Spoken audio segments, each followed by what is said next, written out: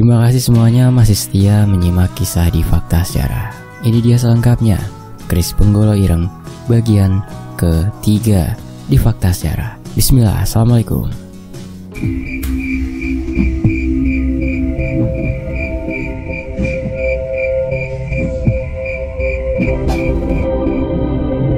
Dana dan Cahyo akhirnya tiba di rumah Dirga. Dari awal mereka sudah curiga dengan keberadaan pabrik tahu yang berada di sana. Saat bertemu Abah, ia menceritakan bahwa benda yang pernah menyegel keris Benggolo Ireng berada di sana. Di sisi lain, sunyinya sebuah hutan kadang menyimpan misteri yang seharusnya tidak perlu disibak oleh manusia yang tidak seharusnya berada di sana. Di balik perasaan tenang yang dihadirkan di bawah sinar mentari, selalu ada kengerian yang menyelimuti di bawah sinar rembulan. Alas mayit ternyata masih menghubungkan kami dengan sesuatu misteri yang akan menciptakan tragedi berdarah yang harus kami hentikan. Itu, itu Pak Lek, teriakku pada Cahyo yang sedari tadi menunggu Pak Lek di ujung lembah. Kami memang sengaja menjemput Pak Lek di sini karena jalan untuk masuk ke desa masih sulit dilalui dan membingungkan. Sini Pak Lek, tak bantuin, ucapku sambil membawa sebuah tas kain besar yang dibawa oleh Pak Lek. Sepertinya, mau tidak mau Pak Lek harus tinggal cukup lama di desa ini. Karena saat ini hanya ilmu Pak Lek lah yang bisa menahan Mbah Suroto saat tubuhnya diambil alih. Kue golek iso ponjul? Tanya Pak Lek yang heran pada Cahyo yang terlihat mengelilingi Pak Lek. Bule, ndak bawain apa-apa gitu Pak Lek. Arem-arem atau lemper gitu? Tanya Cahyo balik. Oh yo yo, iki iki iki gonen, bawa saja. Balas Pak Lek yang menyerahkan sebungkus kantong kresek hitam yang diambil dari tasnya. Cahyo dengan cepat segera mendekat dan mengambil bungkusan itu. Dengan sumringah, Cahyo membuka bungkusan itu dan seketika wajahnya berubah menjadi aneh sambil menutup hidungnya. Pale, lembar dari mana? Ini baju kotor, teriak Cahyo yang protes dengan bungkusan yang diberikan oleh Pak Le. Sontak aku tertawa melihat wajah lucu Cahyo yang termakan tingkai sang Pak Le. Lah sudah tahu Pak Le dari desa selatan tidak mampir ke rumah, malah ditanyain arem-arem, ucap Pak Le yang menahan tawa gelinya saat melihat wajah Cahyo. Setelah kejadian itu, sepanjang perjalanan, Cahyo hanya menggerutu karena ternyata harapannya untuk menikmati masakan bule pupus ketika. Siapa namanya? Suroto? Apa kondisinya separah itu, Nan? Tanya Pak Le, yang ingin mengetahui permasalahan yang kami ketahui di desa ini. Kondisi Mbah Suroto mulai stabil setelah dibantu oleh Pak Sardi. Tapi sesuatu yang membuat Mbah Suroto menjadi seperti itulah masalah sebenarnya. Jawabku. Pak Sardi, ayahnya Sekar? Tanya Pak Le. Aku mengangguk dan melanjutkan cerita mengenai sebuah keris yang berisi kekuatan hitam yang mengambil alih kesadaran Mbah Suroto. Dirga juga mendapat penglihatan mengenai ketiga keris kembar pembawa petaka yang akan bangkit dan akan mengakibatkan pertumpahan darah. Saat matahari tepat berada di atas, kami sampai di desa Windu Alit dan segera membawa Pak Lek ke rumah singgah tempat Basuroto dirawat. Saat itu juga, Pak Lek merasakan keberadaan sosok yang mengelilingi desa ini yang tidak berani untuk mendekat. Makhluk-makhluk itu, apa tidak membahayakan desa ini? Tanya Pak Lek. Kami tidak ada pilihan Pak Lek. Mereka adalah pengikut dari sosok yang mendiami keris penggolo abang yang mengikuti Mbah Suroto. Selama Mbah Suroto sadar, makhluk itu tidak akan berbuat apa-apa, jelasku. Mendengar penjelasanku, Pak hanya diam, seolah memang tidak ada solusi lain atas hal ini. Tapi aku mengerti, kekhawatiran Pak akan warga desa yang pasti akan terganggu bila mengetahui keberadaan makhluk-makhluk ini. Kulon won, Aku mengetuk dan membuka pintu rumah singgah tempat kami merawat Basuroto. Terlihat Sekar segera keluar menyambut kami dan mengenalkan Pak Lek pada Pak Sardi, ayahnya. Monggo Pak Lek, masuk. Saya Sardi, ayahnya Sekar. Matur nuwun, terima kasih banyak. Dulu sudah mau membantu Sekar. Ucap Pak Sardi, yang memang sangat ingin bertemu dengan Pak Le. Sama-sama Pak Sardi. Kebetulan aja Cahyo yang nemuin Sekar.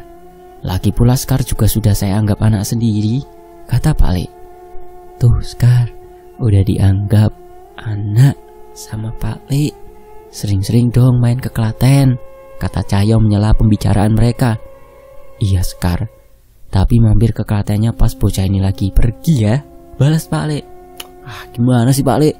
Kalau gitu percuma dong, kata Cahyo. yo yo, mungkin sewaktu-waktu gantian saya dan Sekar yang mampir ke rumah Pak Le.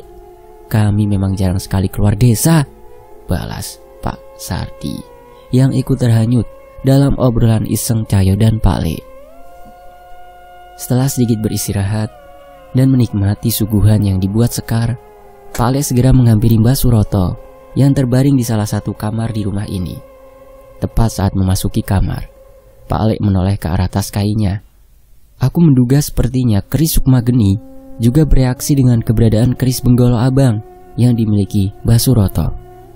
Kulo nuwun, kata Pak Lek dengan sopan sebelum memasuki kamar. Terlihat Basuroto memaksakan dirinya untuk duduk dengan setiap luka yang ada pada dirinya. Sudah santai saja Mbak Suroto, saya Pak Lek mereka. Nama saya Bimo.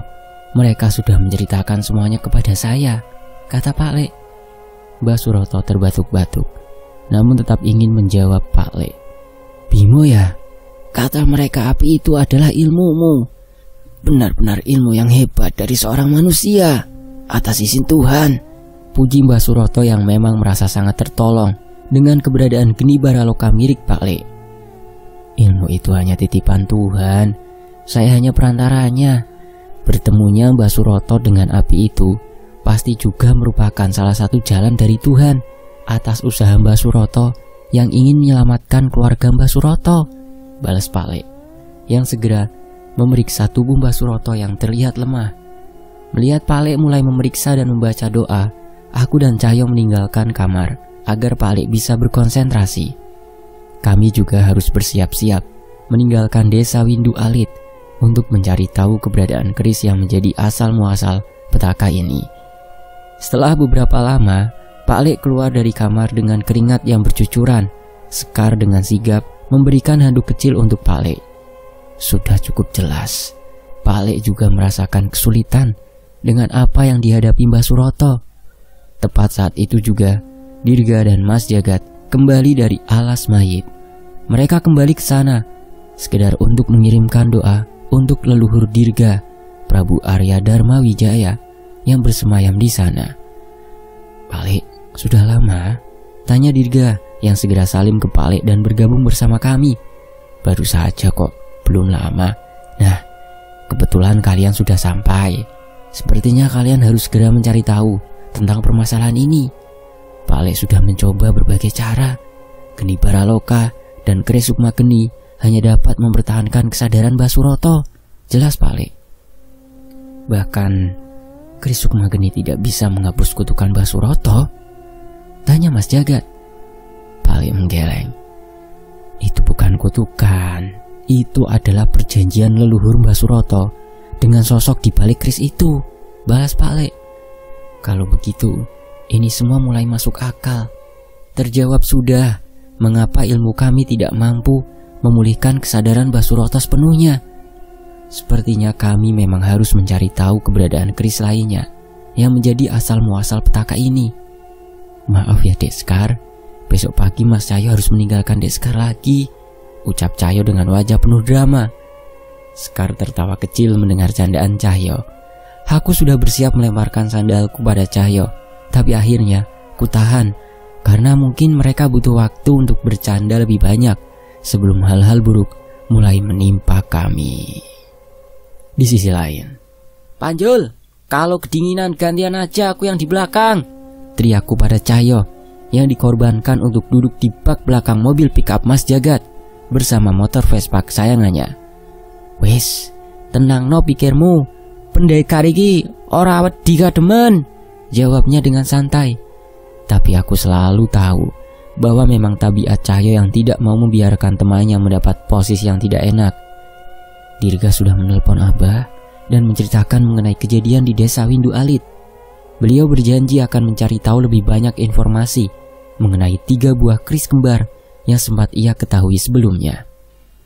Perjalanan kami menuju desa Dirga terhitung cukup lama. Kami beberapa kali berhenti di warung kopi di pinggir jalan provinsi untuk sekedar beristirahat dan memastikan Cahyo tidak tertinggal tertiup angin.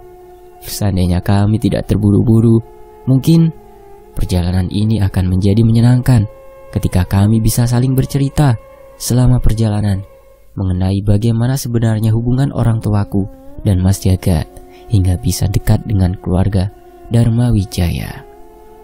Setelah perjalanan yang cukup panjang, kami sampai di sebuah desa yang sudah cukup padat dengan bangunan tepat saat matahari terbenam. Terdapat sebuah pasar yang sudah dikelola oleh pemerintah di sana. Dan yang paling menarik perhatianku adalah sebuah bangunan besar menyerupai pabrik yang sempat kulihat tak jauh dari sungai. Mas Jagat, itu tadi bangunan apa? Tanyaku yang penasaran. Oh, itu pabrik tahunya Pak Wijaya Kartakusuma. Tapi beliau saat ini sedang sakit, jadi dikelola oleh istrinya. Cerita Mas Jagat. Sakit apa Mas Jagat? Harusnya mereka punya uang untuk mengobati ke rumah sakit kota kan Mas? Tanyaku lagi. Penyakitnya cukup aneh Nan. Dan Pak Wijaya dan keluarganya juga cukup tertutup dengan penyakitnya. Jawab Mas Jagat. Agak misterius ya. Semoga saja mereka juga cepat mendapat solusi atas masalah mereka, balasku. Iya Mas Danan, tapi tahu hasil pabrik mereka enak loh. Besok kita coba yang masih fresh, cerita Dirga. Wah siap dong, kalau soal makanan itu yang di belakang pasti semangat, balasku. Kami turun di sebuah rumah yang memiliki halaman kebun yang cukup luas dengan bangunan utama yang dibangun dengan tembok dan dekorasi batu alam. Walaupun sederhana, Rumah ini terlihat sangat nyaman dengan jendela kayu model lama dengan kisi-kisi kaca di dalamnya. Punten, Abah, Emak, Dirga pulang, ucap Dirga sambil membuka sendiri pintu rumahnya yang sepertinya memang jarang terkunci. Suara langkah kaki terdengar mendekat menyambut teriakan Dirga. Itu adalah Abah, ayah dari Dirga Dharma Wijaya, yang seharusnya ia juga adalah salah satu garis keturunan bangsawan dari Prabu Arya Dharma Wijaya. Namun, pakaiannya terlalu sederhana untuk seorang keturunan darah bangsawan. Dan satu lagi yang membuatku penasaran, pasti ada cerita menarik mengenai kepindahan mereka ke tanah Sunda. Permisi Abah, saya Danan, dan ini teman saya, Cahyo. Mohon izin merepotkan Abah, ucapku memperkenalkan diri. Merepotkan naon? Sudah, ayo masuk. Dirga sudah cerita semuanya. Sama saudara sendiri tidak usah sungkan-sungkan. Ucap Abah yang ternyata begitu ramah. Mendengar itu, kami tidak sungkan lagi dan segera masuk menuju ruang tamu dan melepaskan lelah selama perjalanan dengan minuman hangat yang sudah disediakan oleh orang tua Dirga. Cahyo, nih, minum dulu, masih hangat. Ucapku pada Cahyo sambil menggeser duluan teh hangat yang dihidangkan ke Cahyo yang terlihat masih kedinginan sambil menutupi tubuhnya dengan sarungnya. Tanpa banyak bertanya, Cahyo segera menikmati teh hangat yang ada di hadapannya dan mencomot beberapa gorengan. Kelihatannya pada kelelahan ya. Malam ini istirahat dulu saja, bicara seriusnya besok saja. Ucap Abah yang melihat wajah Cahyo yang sedikit pucat setelah menghadapi terpaan angin sepanjang perjalanan. Iya, pada istirahat dulu. Sudah saya siapin air panas buat mandi. Mas Jagat nginep di sini saja sekalian. Tambah emak, ibu dari Dirga yang ikut keluar menyambut kami. Wah, enggak usah. Saya pulang saja. Sudah ditunggu orang rumah juga, jawab Mas Jagat, yang sepertinya sudah tidak sabar untuk pulang ke rumah. Ya sudah, setelah ini istirahat dulu saja. Ada banyak hal yang ingin saya ceritakan berdasarkan cerita Dirga kemarin, tapi saya harus mengambil sesuatu dulu besok. Jadi mungkin bicara seriusnya besok siang saja ya. Lanjut Abah. Kami setuju. Malam itu hanya dilalui dengan perbincangan kecil dan ditutup dengan cahyo yang diam-diam minta kerokan sebelum akhirnya kami tidur ditemani suara tengguran cahyo yang sepertinya menggema sampai satu desa. Pagi itu, aku terbangun lebih awal. Cahyo masih tertidur dengan pulas. Sementara, aku menyadari Dirga sudah bersiap-siap melakukan sesuatu. Lah, masih pagi. Mau ke mana Dirga? Tanyaku. Oh biasa mas, bantuin mas Jagat nganter barang ke pasar. Jawab Dirga. Ternyata sudah rutinitas Dirga setiap pagi untuk membantu Mas Jagat mengantarkan dagangannya ke pedagang-pedagang pasar. Aku ikut deh, sekalian jalan-jalan. Ucapku yang dengan senang hati, disetujui oleh Dirga. Pasar di desa ini cukup ramai. Mas Jagat terlihat cukup dekat dengan pedagang-pedagang di pasar ini. Tak jarang juga pengunjung pasar yang menyapa Jagat dan Dirga. Mas Jagat terkenal juga ya di pasar, tanyaku penasaran. Kan wajar, Nan Kerjaanku ngantar-ngantar barang dari toko grosir ke pedagang-pedagang pasar. Jadi wajar pada kenal, jawab Mas Jagat. Setelah menyelesaikan pekerjaannya, Mas Jagat mengajakku makan di sebuah warung bakso yang berada di sudut pasar. Eh Dirga, lama nggak kelihatan. Tiba-tiba terdengar suara seorang perempuan yang menyapa kami di warung bakso, tempat kami ingin menuntaskan lapar. Teh ini sama siapa ke sini? Sama Putra? Tanya Dirga yang membalas ucapan perempuan itu. Enggak, sama Mang Toha. Itu lagi mesen. Dirga sama Mas Jaka teh dari mana saja baru kelihatan? Tanya seseorang bernama Rini itu. Habis ada acara di Jawa Tengah, Teh Rini juga tumben ikut ngantar tahu. Balas Dirga yang terlihat cukup akrab dengannya. Iya, lagi libur aja.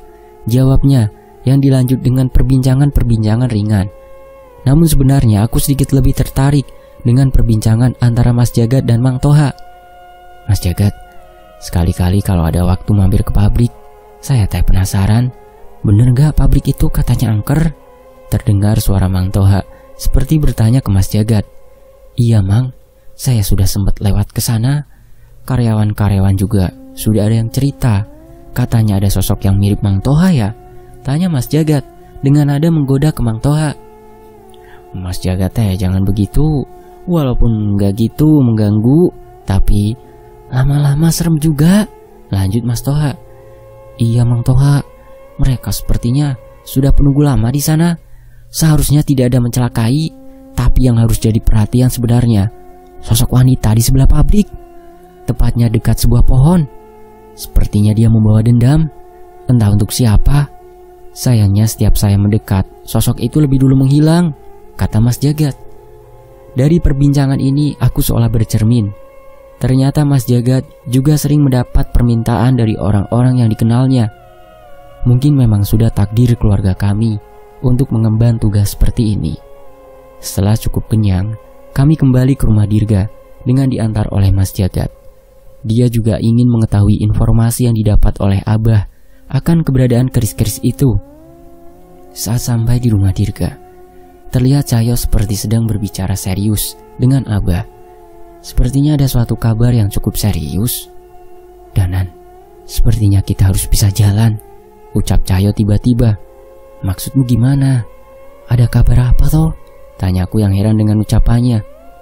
Barusan aku ditelepon sama Guntur. Sepertinya aku harus ke desanya, kata Cahyo. Cahyo menceritakan bahwa tiba-tiba di desa Guntur diserang oleh seorang dukun berwujud nenek tua yang membawa pengikut-pengikut makhluk halusnya untuk menyerang desanya. Rupanya, yang diincar adalah seorang perempuan bernama Indira. Dia adalah satu-satunya keturunan yang tersisa dari pewaris keris Benggolo Ireng. Ibu dan kakaknya mati dengan mengenaskan, dibunuh oleh ayahnya dalam pengaruh keris itu. Lalu mereka gimana? Apa mereka selamat? Tanyaku yang mulai khawatir mereka selamat. Nyai Jambrong membantu mereka mengusir dukun dan pengikutnya. Jawab Cahyo. Nyai Jambrong? Nyai Jambrong pemilik ilmu rawa rontek yang bertarung sama kita dulu. Tanyaku semakin heran. Cahyo mengangguk. Rupanya, setelah kehilangan ilmunya, Nyai Jambrong mengasingkan diri di hutan rumah, tempat Arum dan Buningrum tinggal dulu, sekaligus menurunkan ilmu bela dirinya ke Guntur. Rupanya, Kalian sudah melalui kejadian-kejadian besar yang mengerikan ya, kata Abah yang cukup kaget mendengar cerita kami. Iya bah, Dirga juga belajar banyak dari Mas Dana dan Mas Cahyo. Kata Dirga, ya sudah, duduk dulu semua. Abah mau bercerita sesuatu sebelum Mas Cahyo berangkat. Kalau memang perkara yang kalian hadapi itu berhubungan dengan keris penggolo ireng, maka ini bukan masalah sepele. Buka Abah. Abah bercerita bahwa keris penggolo ireng merupakan keris kembar tiga yang dibuat pada zaman kerajaan ratusan tahun yang lalu. Keris yang dibuat oleh empu gila dengan batu langit yang jatuh di salah satu hutan saat itu. Empu itu memberi syarat pada yang akan menggunakan ketiga keris itu bahwa mereka tidak boleh berhenti membunuh. Bahkan ketika perang sudah usai, sumpah ini akan diteruskan kepada setiap keturunannya. Saat itu, panglima-panglima yang haus akan kemenangan berkompetisi untuk mendapatkan keris-keris itu tanpa mengindahkan konsekuensinya.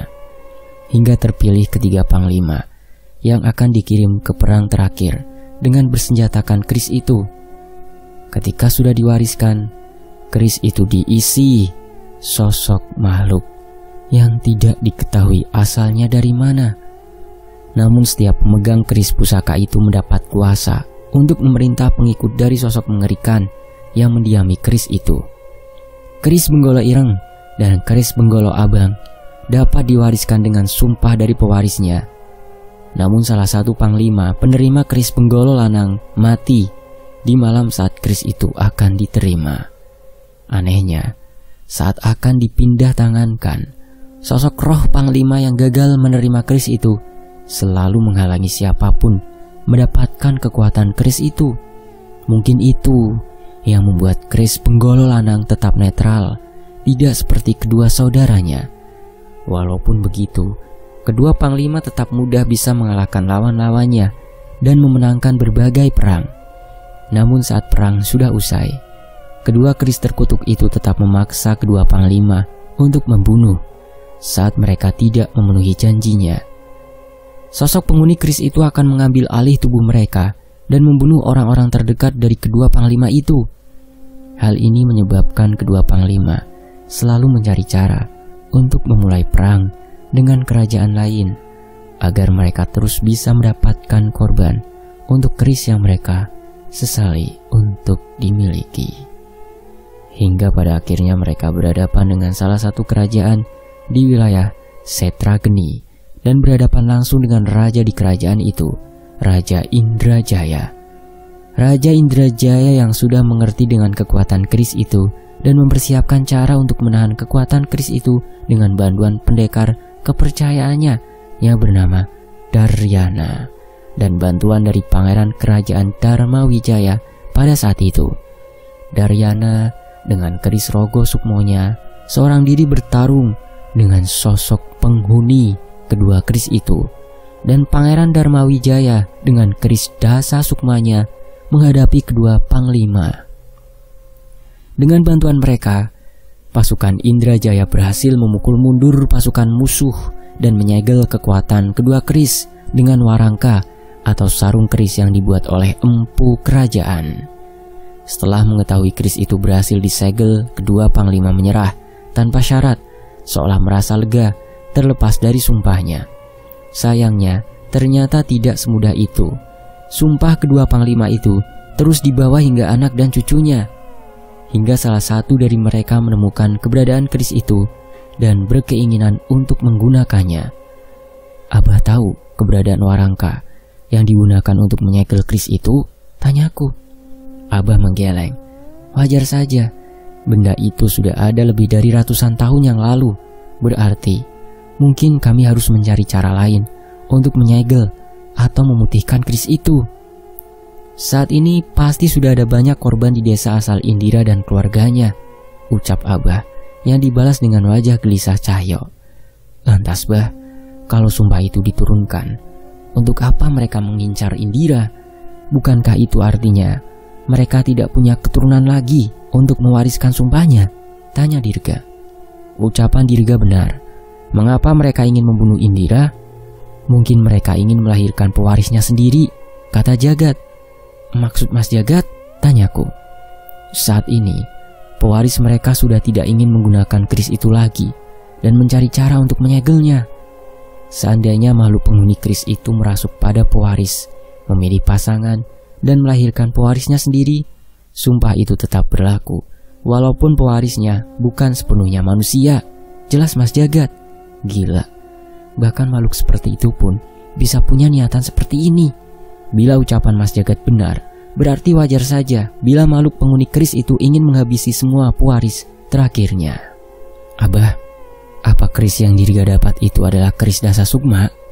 Tanya Dirga yang segera diiakan oleh Abah. Mas Danan adalah pewaris keris Raga Sukma, sedangkan aku pewaris keris Dasa Sukma.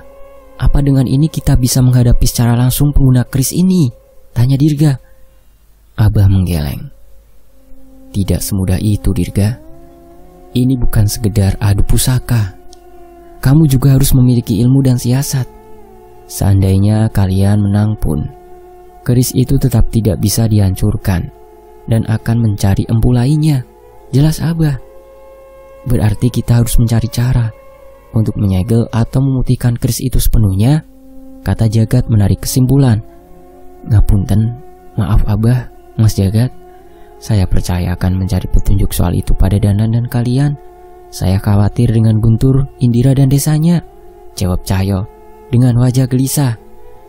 Itu memang sudah sifatnya yang tidak bisa tenang saat ada masalah yang berhubungan dengan orang lain.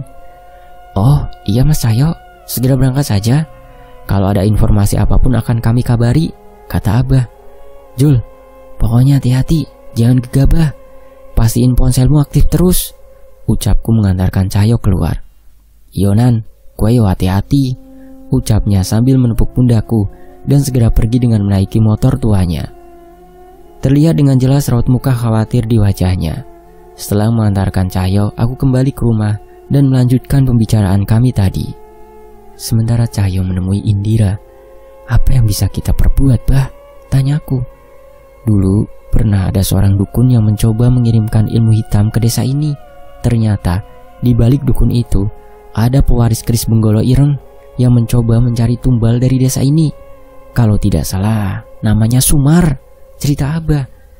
Terus bah, berarti Abah pernah menghadapi keris itu? Tanyaku. Abah menggeleng dan menghela nafas. Ia mencoba menceritakan dengan lebih rinci.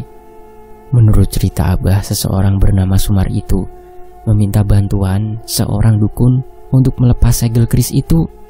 Sebagai syarat permintaan itu, dukun itu membutuhkan tumbal dan sosok roh yang penuh dendam untuk memancing makhluk di dalam keris itu.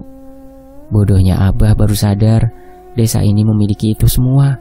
Ada sosok roh penuh dendam di desa ini, kata Abah. Di pabrik tahu itu, potong jagat yang sepertinya mengerti dengan arah ucapan Abah. Benar, saat itu Abah berhasil menggagalkan niatan dukun itu untuk mencari tumbal dari desa. Namun, yang Abah lewatkan sepertinya Dukun itu seperti berhasil mengikat perjanjian dengan roh di sana. Lanjut Abah. Berarti ada kemungkinan benda yang digunakan untuk menyegel kris itu masih ada di pabrik tahu itu, Bah? Tanyaku. Mungkin saja. Tapi apakah benda itu masih berfungsi? Abah juga tidak tahu jelasnya. Mas Jagat, bisa bantu saya untuk meminta izin ke pemilik pabrik itu? Kita ke sana malam ini, kataku. Bisa, Danan. Sebaiknya kita bersiap. Walau di siang hari pabrik itu terlihat biasa saja, saat malam hari suasana di sana akan berubah drastis, kata Mas Jagat. Dari perbincangan ini, aku dan Mas Jagat memutuskan untuk menghampiri pabrik tahu dan mencari keberadaan benda yang pernah menyegel pusaka keris penggolo ireng itu. Sementara Dirga dan Abah mencari tahu tentang keris yang baru ia dapat yang mungkin akan berguna nanti. Di sisi lain, Waktu menunjukkan pukul 8 malam. Terlihat lampu-lampu di pabrik tahu ini masih menyala, menandakan masih ada karyawan yang bekerja. Punten, Mang Toha, maaf malah jadi ngerepotin. Ucap Mas Jagat pada Mang Toha yang sudah menunggu kami di luar. Gak apa-apa mas, sekalian Mang Toha juga pengen tahu ada apa sama pabrik ini, kata Mang Toha. Hatur nuhun no Mang, nanti segera saya cari tahu. Saya izin untuk memeriksa halaman dulu. Nanti saya periksa yang di dalam kalau karyawan sudah pulang saja. Balas Mas Jagat lagi. Sok atuh, kalau ada apa-apa panggil Mang Toha saja di dalamnya. Kami berterima kasih pada Mang Toha dan berpisah untuk memulai pencarian. Secara sekilas saja sudah terlihat dengan jelas ada sesuatu yang tidak beres di pabrik tahu ini. Dari penglihatan kami, bangunan ini dipenuhi oleh berbagai macam roh dan berbagai jenis jin, seolah tempat ini memang wilayah mereka sejak dulu. Namun sepertinya tidak ada niatan jahat dari makhluk-makhluk ini selain satu sosok yang kurasakan keberadaannya, namun tidak dapat kutemukan sosoknya. Bersambung. Nantikan bagian berikutnya. Hal apa yang ada di pabrik tahu sehingga konon kabarnya warga sekitar mengatakan pabrik tersebut angker. Dan itu nanti berkaitan dengan cerita dari Queer Tipping. Nanti saya juga akan ke sana setelah ini mungkin ya. Tapi nanti ini tamatin dulu Chris Penggolo Irengnya ya. Terima kasih semuanya. Saya pamit. Wassalamualaikum warahmatullahi wabarakatuh. Demikianlah bagian ketiga Chris Penggolo Ireng. Alhamdulillah. Terima kasih Mas Joseta.